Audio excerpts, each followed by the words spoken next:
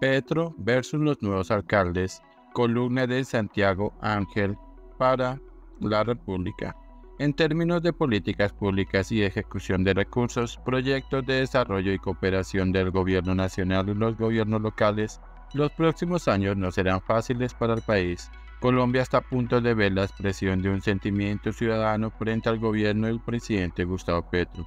El rechazo a los candidatos del pacto histórico que no ganarán ninguna capital relevante y difícilmente alguna gobernación en el mismo sentido será un rechazo a la forma en la que el mandatario lleva su gobierno. En un año y dos meses de administración nacional, Petro ha demostrado que ser brillante y la intelectualidad no son suficientes para gobernar bien.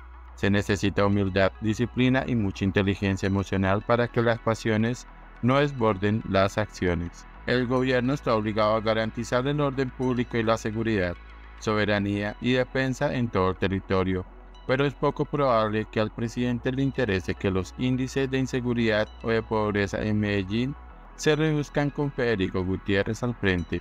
Si Galán no cede a la obsesión con el metro subterráneo en Bogotá, es poco probable que al presidente le interese aumentar el pie de fuerza en la ciudad o cooperar con recursos nacionales para Regio Trump.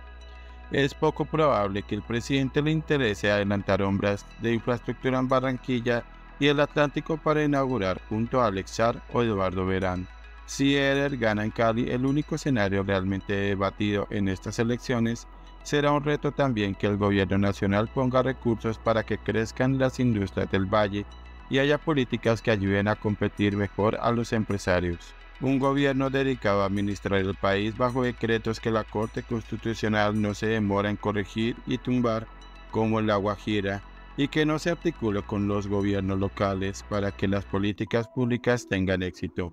Está condenado a que nada cambie, a pesar de ser el gobierno del cambio. Un año y dos meses después de inaugurarse como presidente, los resultados más ambiciosos de Petro han sido la reforma tributaria y conseguir un cese con el ELN y otro con las disidencias de la FARC, que se sienten en la sala de su casa acordando con Danilo Rueda.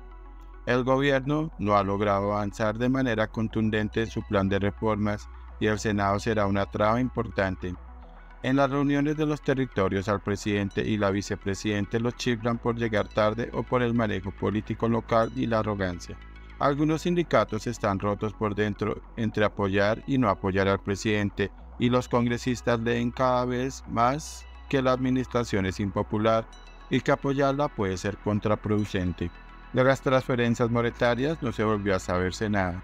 Y a todo este panorama hay que sumarle la nueva composición política del país con unos alcaldes y gobernadores a los que no les interesará que al gobierno le vaya bien y a un gobierno en la misma posición frente a esas administraciones.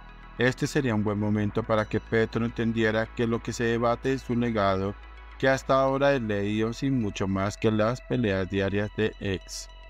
El presidente tendría que poner en ejercicio su inteligencia emocional, sacar un poco de humildad y ponerse a trabajar a partir del domingo con los nuevos liderazgos, convocarlos para unir al país y dar un mensaje que proyecte trabajo en equipo, cohesión y sincronía por el bien de todos. No más peleas, trinos interminables, arrogancia ejecutiva y conspiraciones imaginarias. Quizás estemos soñando.